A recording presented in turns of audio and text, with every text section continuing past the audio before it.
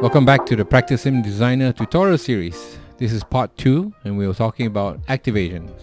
If you have not seen the first video, I urge you to take a look at the first tutorial video that talks about the tool, introduce the user interface and the editing capabilities.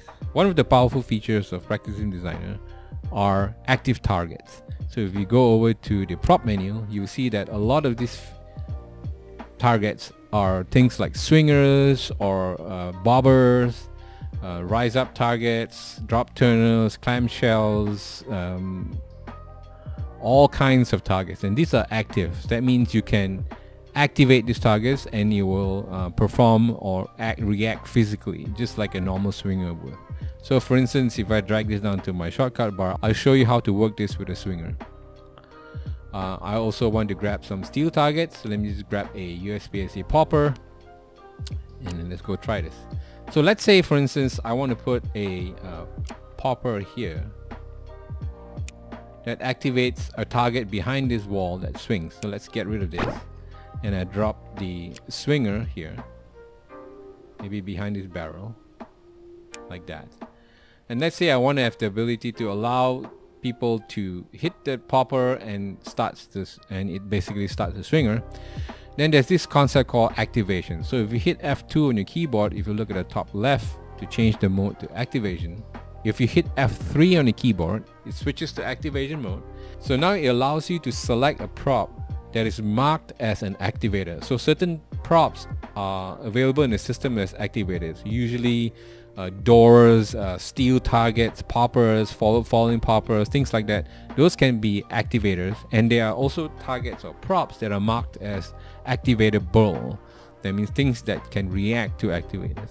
So in this case, the popper, if I highlight it, it turns green, is an activator. And but if I highlight anything else, you, you see that nothing turns green because you, those are not marked as activators.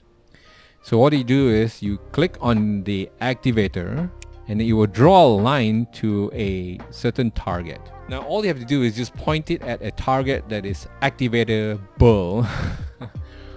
and so that will highlight for you when you when you see it as well. So now if I point it at a swinger which is an activatable target, I can just point at it and I click it and that will establish a link between the popper and the swinger.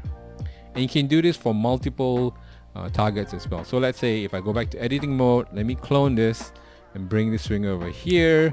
Maybe clone this and hide that target behind the barrel stack. And then go back to activation mode F3, select the steel and then select the swinger and now that's connected as well. Okay. And so what uh, that allows you to do is that allows you to represent the link between activators and targets.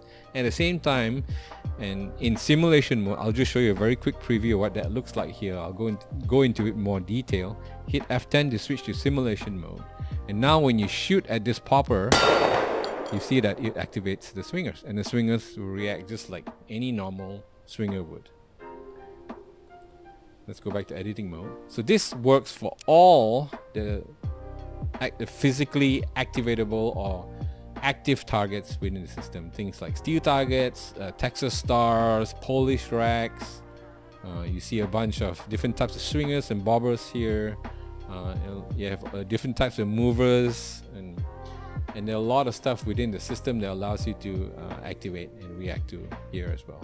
You can also build uh, daisy chain capability. So let me just bring in a door to show you. So I'll bring a door. The door is an activate activator and an activatable object as well. So what that means is you can have the door trigger an activatable object. Let's say for instance, open the door and it moves and it releases the swinger. You can do that as well. Or you can you can make the door an activatable target uh, so basically, let's say if you hit the steel and that steel opens the door. Okay, so you can do all kinds of daisy chaining here. So for instance, if I go over to activation mode and I say, okay, if I hit this popper, I want you to open this door. I link that. And also at the same time, if I open that door, I want you to activate that swinger.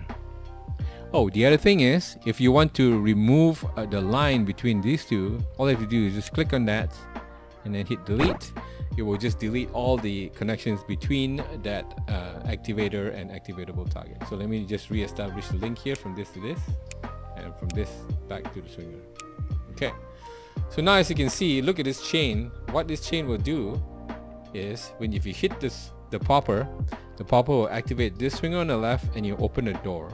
And opening the door will also trigger the swinger. But if you just open the door, then you only activate this swinger. So let's take a look at that in simulation mode. Go back to F10 here. So now if I shoot the popper, it opens the door and the act of opening the door will activate the swinger. Okay? So hit delete to reset. So now if I just go over and push the door open, you see it only activates the swinger and the popper is still up. So you can create all kinds of cool daisy chain capabilities here within uh, your activation uh, mode. So that's activator.